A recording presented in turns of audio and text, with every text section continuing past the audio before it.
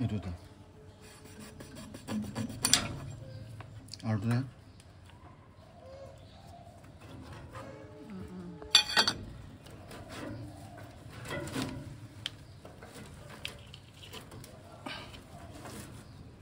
뭐, 뭐, 뭐, 좀 계산. 이거 누구 사볼라?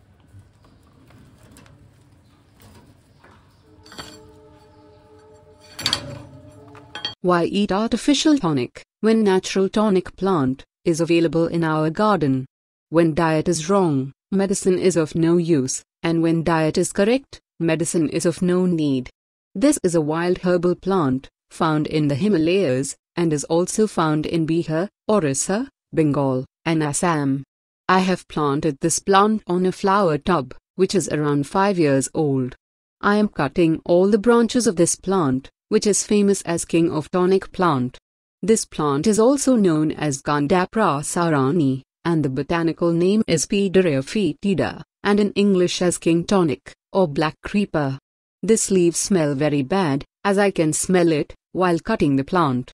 This plant grows back very fast, with new fresh leaves in just a week. After 15 days, we can even consume fresh tasty leaves. A very healthy soup dish is prepared from the leaves and have many health benefits. Eating soup of these leaves can stimulate the central nervous system, purify our blood, and provide us energy. These leaves are very famous for providing relief from any kind of inflammation.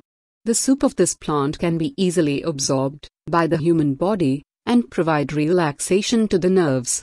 This herbal plant is consumed for many health benefits, like treating infertility, colic, and flatulence.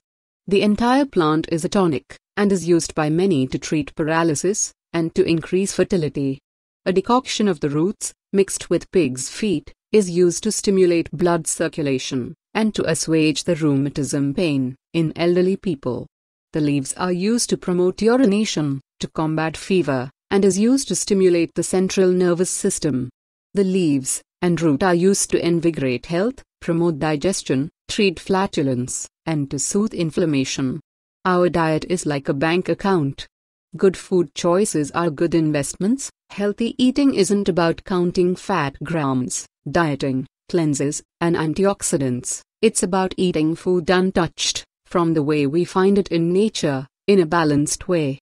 Health is like money. We never have a true idea of its value until we lose it.